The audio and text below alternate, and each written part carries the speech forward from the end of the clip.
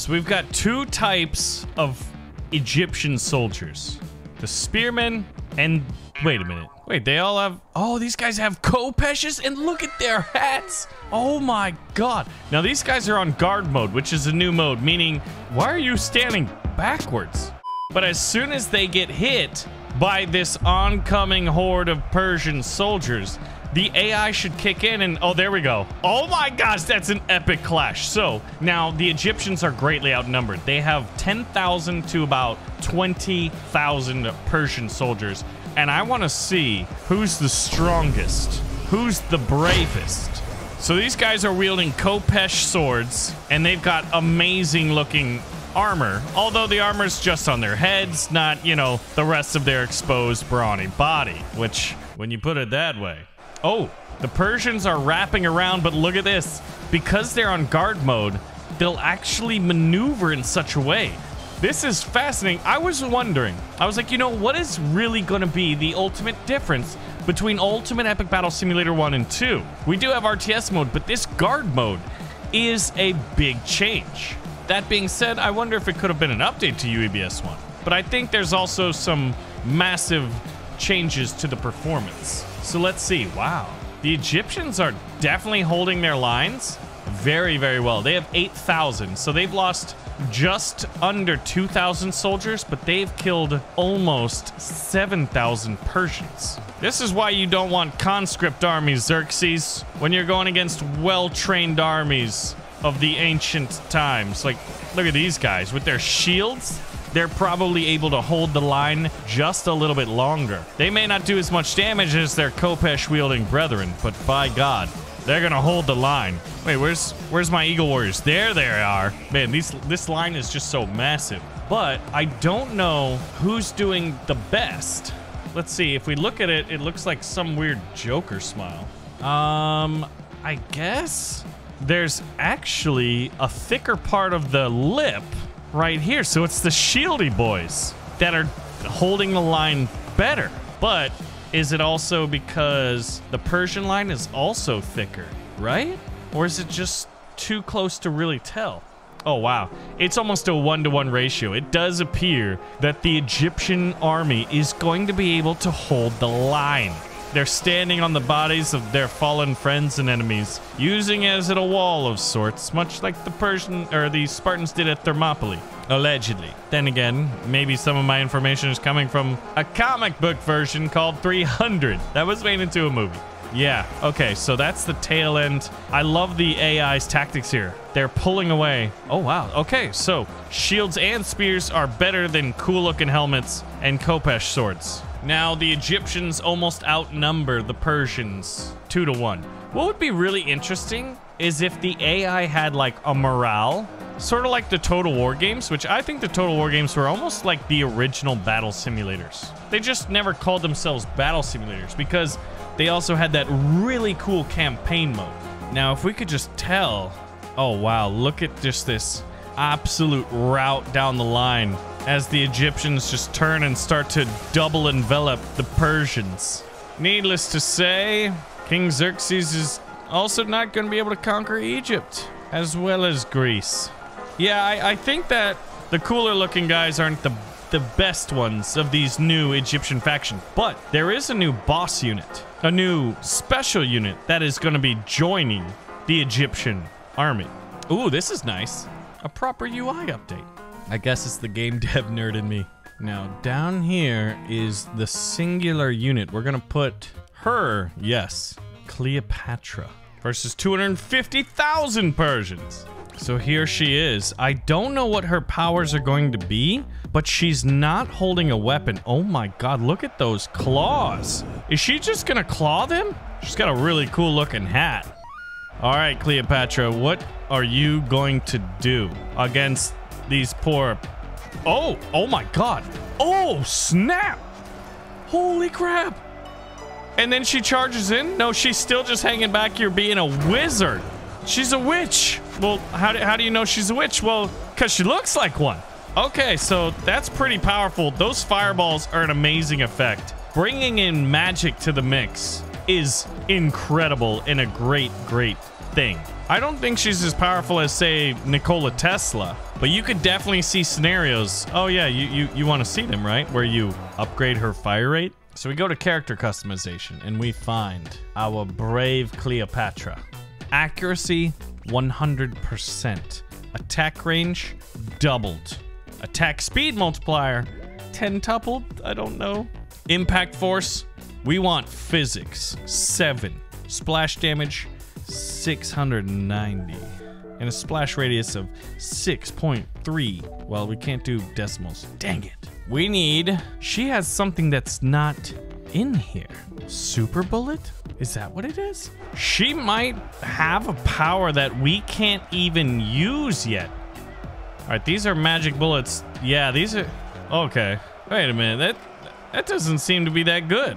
Okay. We've actually nerfed her. But that's not even the most explosive update in Ultimate Epic Battle Simulator. Although you can see her firing. There's this weird looking fortification that we need to hold at all costs. Oh, it's a beautiful medieval castle. We can have proper sieges. Now, these World War II units have been set to guard mode. We have Thompson wielding assault troops and shotgun wielding.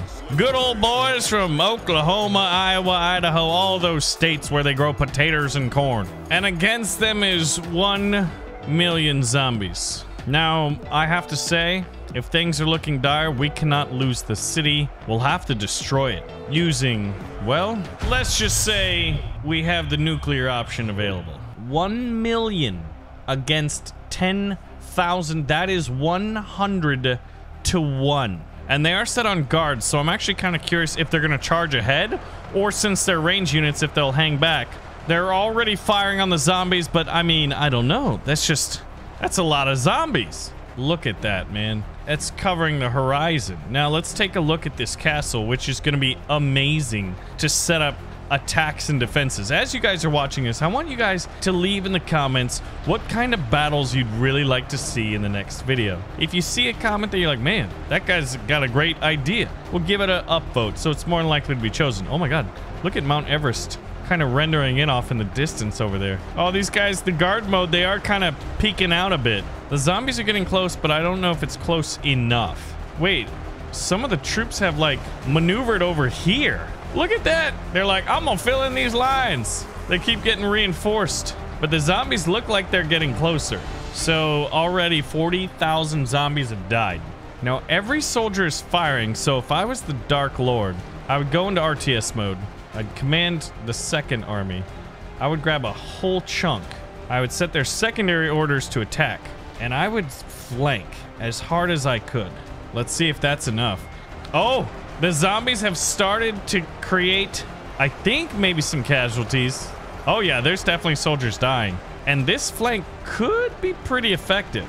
Oh, they're spilling it over here too. Oh man, I don't know. This is going to be a very, very brave defense, but I think like when you look at this, it's gotta favor the zombie apocalypse, right? Wait a minute, is that a satellite flying overhead? Oh, don't worry about that. Don't worry about what things that satellite could be armed with, like nuclear ordnance detected. It's like StarCraft. And you're the Zerg playing against the Terran, and all of a sudden you hear nuclear launch detected. You're like, oh my god, oh god, oh god, where is it? And your friend across the land table is just cackling maniacally. Yeah, that's how it feels like. The human forces are starting to dwindle. I actually wonder if, since they're on guard mode, if they're not holding their shape very well, if that's negatively affecting them.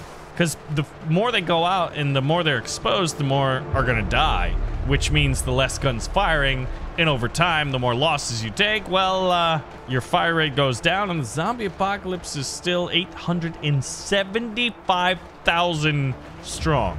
Wow. In the time I, I said that, they literally lost 2,000. oh, wow. Oh, never mind. I was going to say all the humans that were right here died, but they've actually bunched up. But they're slowly getting eaten alive. Well, eaten alive and then they're dead and then they're zombie. You know how zombieism works. It's like, guys, why didn't you fight inside of the castle walls? Well, uh, you know, I don't know. It's like we want to see the nukes or something. The new map looks great. I love guard mode. I think the Egyptian faction looks really cool.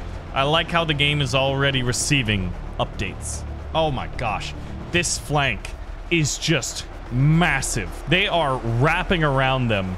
The humans still have over 9,400, but they are starting to dwindle.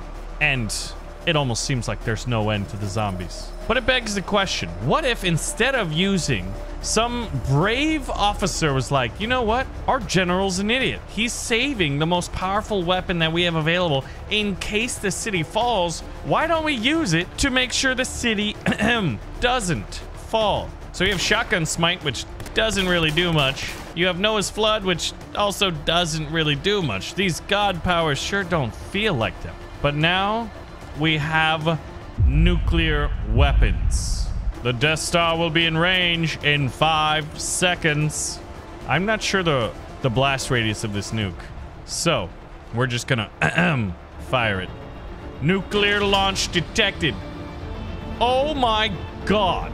That was glorious. Now, how long does the mushroom cloud stake around? Wow! Are you kidding me?